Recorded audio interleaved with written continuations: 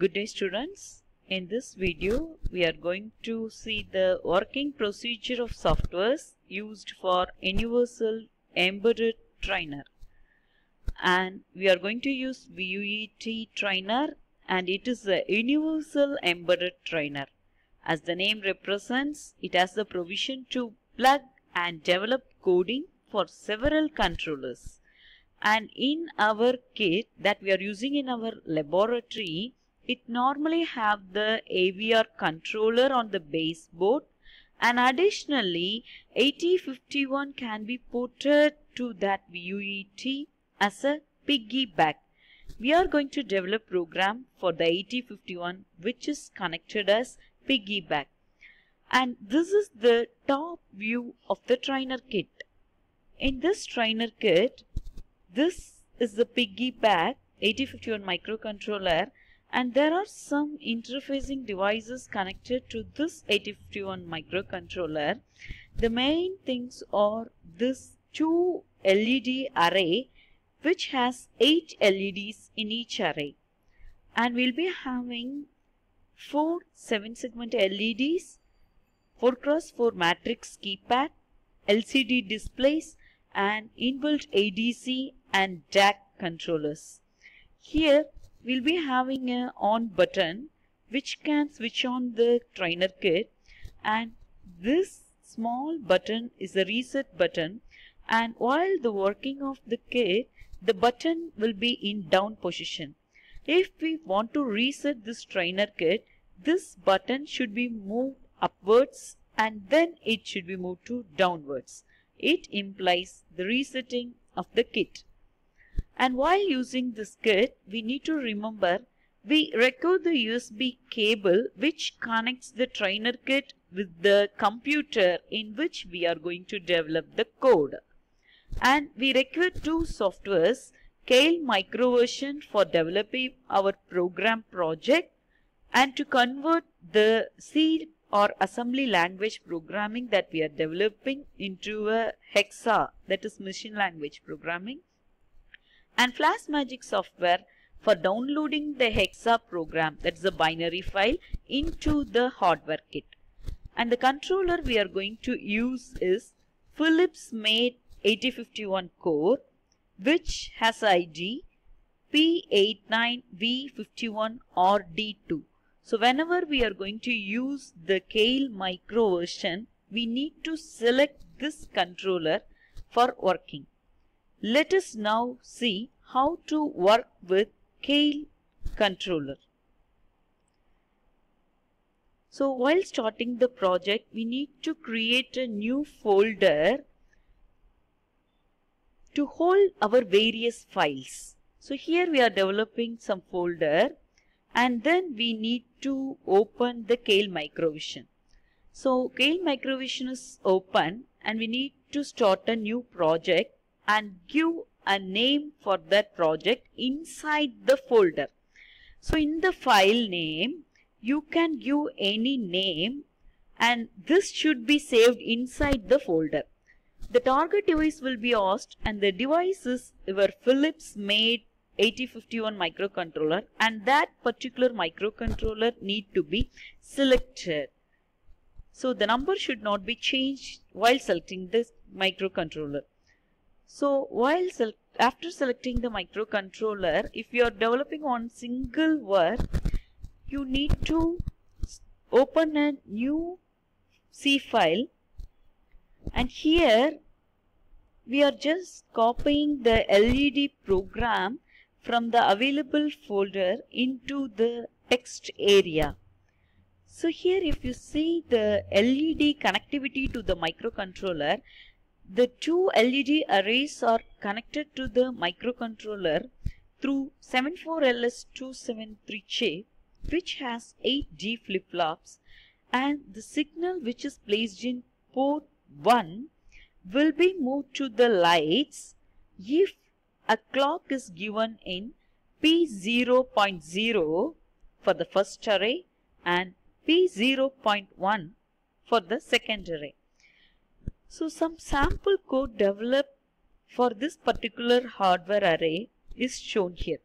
So we are including the register files of 8051 and we are creating some array to make our own lighting pattern.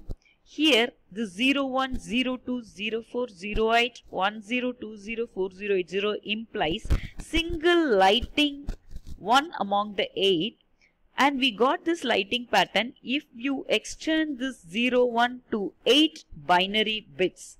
So these numbers are given in hexa and it is represented by this x.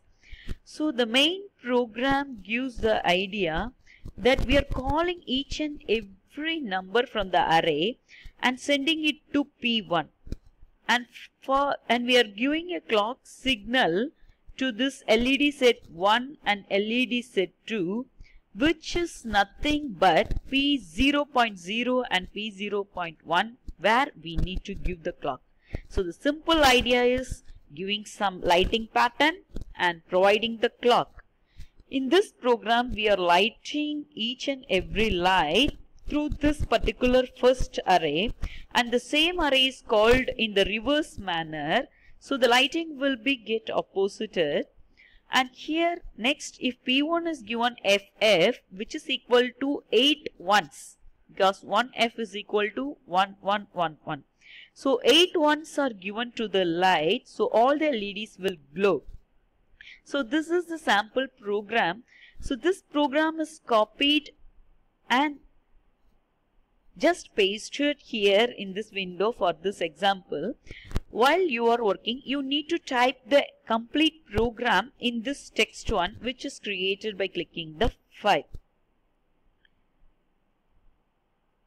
And while we created our program, save the text file and give the name, any name and put the extension dot C and save the file in the same folder we have created. So if we want to include this particular C file in our project, right click the source group and click add files to the group and select that particular file created and add to the project. So if you click the source group, that particular C file is included under the source group one. So initially we have created project and we have given some name and created in the same folder and again separately we developed a C program and we attached that C file into our source code. So after attaching we have to select the options for target. So go to the device and click the output. While in the output we'll be having option called create hex file. So we need to convert this high level C programming to hexa file. So check this box and this is the options for target and then you can build target. So build target icon can be available in the target and also available in the front of our uh, software. So we can build anything. So after building if you see we are created the hex file from our project with zero errors and zero warnings. If you have error, you need to compile the error and debug the error.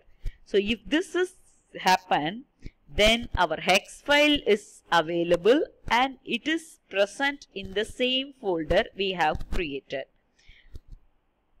So after seeing this error, we can move to our folder that we have created and we can see the files created through our project. So that is the hex file that we have created and this is the file to be loaded into our controller. So, so many supporting files are created. For these only, we should develop a individual folder and we have to save the project and file inside that folder only. So this is how we are going to work with the Keil software. After working with the Keil software, we need to work with the Flash Magic software.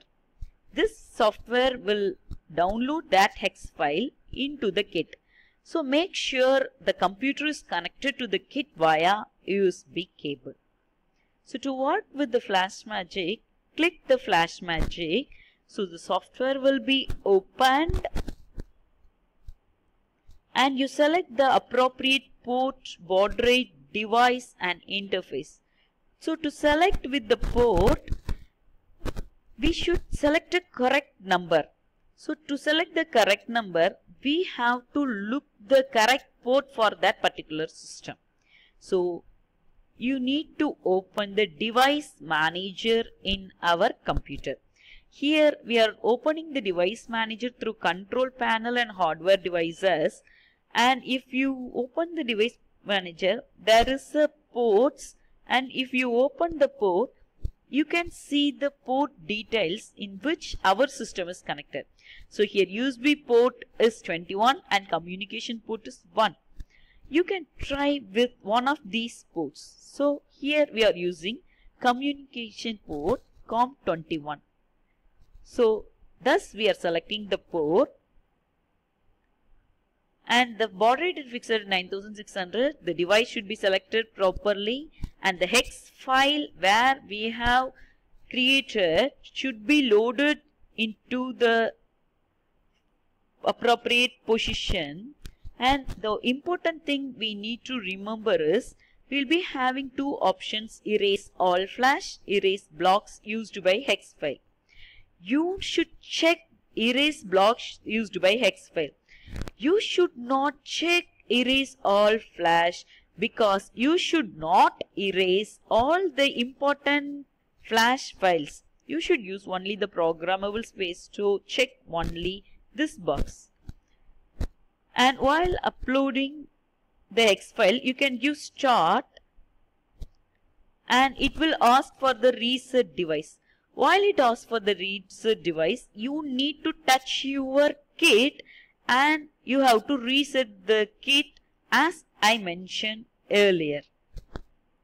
After resetting the device, this particular prompt will disappear and this shows the programming.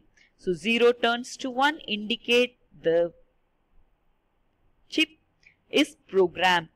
After the chip is programmed, for this particular controller, let us see the output for this program. So this is the output of this program. Here if you see the LED according to the pattern, the each and every pattern is first.